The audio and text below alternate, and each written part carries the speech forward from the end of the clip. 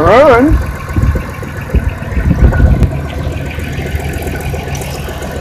Like like two courts over. It's supposed to be way down here, way up here. Oh, way too much fucking oil in it.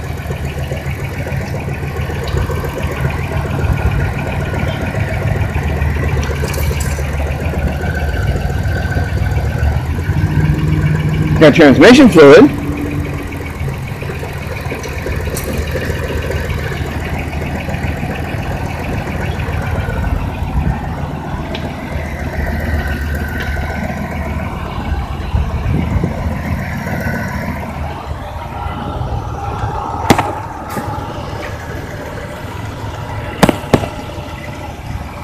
Kind of hard to do with one hand. Uh-oh. What was that?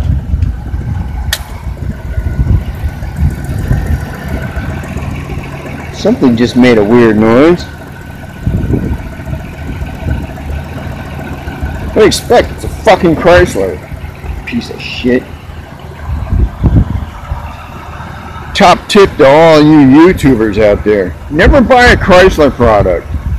Especially an older one.